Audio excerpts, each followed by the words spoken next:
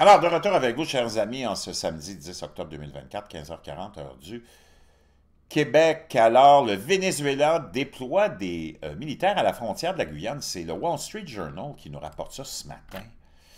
En passant, je vous quitte euh, pour une semaine. Je m'en vais à Cuba, à Cayo Santa Maria. Je vais faire un petit compte-rendu. Je vais ben, peut-être de là-bas, si je peux avoir de l'Internet, je vous ferai des, euh, des petites vidéos, des shorts, comme ils les appellent parler un peu de la situation à Cuba. C'est pas, euh, c'est pas Jojo non plus, c'est vraiment pas drôle.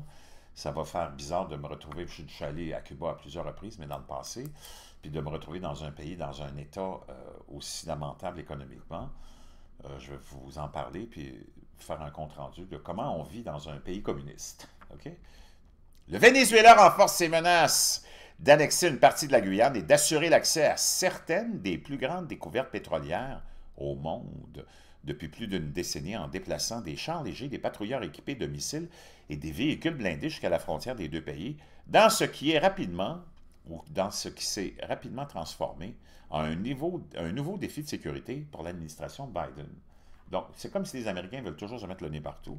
Laissez-les faire ce qu'ils ont à faire, mais on le sait, c'est tout le même monde qui... C'est la petite clique qui nous gouverne, qui veut garder le contrôle de tout ça. Hein.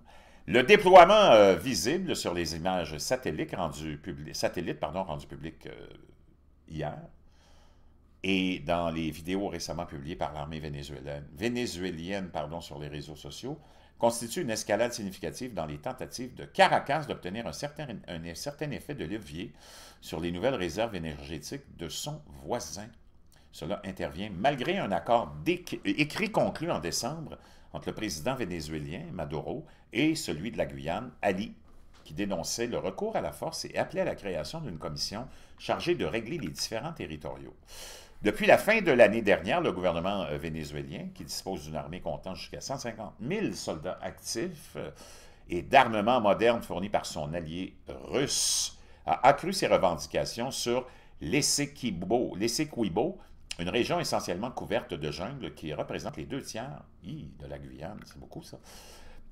Le déploiement et le langage de plus en plus belliqueux de Caracas survient alors que la Guyane apparaît comme l'une des frontières énergétiques les plus chaudes au monde suite aux découvertes de pétrole offshore par la compagnie ExxonMobil Consortium. L'ancienne colonie britannique peuplée de 800 000 habitants ne dispose que de 3 000 militaires. Pas fort, là ils vont avoir besoin d'aide, ce qui pousse le gouvernement à travailler plus étroitement avec les États-Unis pour renforcer ses capacités euh, défensives. Nous ne sommes pas surpris par la mauvaise foi du Venezuela, a déclaré le ministère des Affaires étrangères de la Guyane, dans une déclaration au Wall Street Journal en réponse aux questions sur le déploiement militaire. Nous sommes déçus, pas surpris. Le ministère de l'Information du Venezuela n'a pas répondu aux appels et aux courriels sollicitant des commentaires. Le pays a déclaré qu'il renforcerait ses défenses en réponse aux exercices militaires américains en Guyane. Donc, encore une fois, un autre euh, front qui semble s'ouvrir de là. On parle plus de celui beaucoup de, de, de, Taïwan, mais ça s'en vient aussi, c'est juste une question de temps. Puis tout le reste, je veux dire une chose, ça sent vraiment, ça sent le chauffer, ça sent la poudre à canon plus que jamais. Je vous laisse ça dans la boîte de description. Puis euh, on se retrouve Aküba.